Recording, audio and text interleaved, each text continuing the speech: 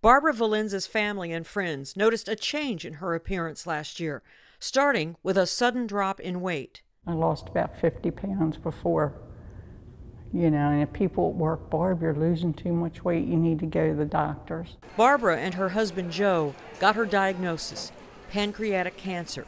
Unsettling, but not entirely surprising, Barbara lost three family members to pancreatic cancer.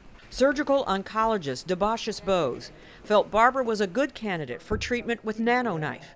NanoKnife uses a process called IRE, or irreversible electroporation. During surgery, doctors insert probes to deliver targeted electrical pulses to the cancer tissue. If you give just enough but not too much, you'll cause live cells to form these pores, but the structures around them don't get destroyed. The small holes in the tissue cause the cancer cells to die, but protect the delicate blood vessels and organs nearby.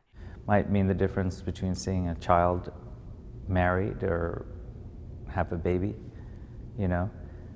Just looking for a little extra time. Barbara underwent surgery with the NanoKnife in March. Her latest scans show the NanoKnife treatment, along with chemo and radiation, is working. The disease hasn't moved anymore, and they want to do everything possible so then I will be here. I'm Marty Salt reporting.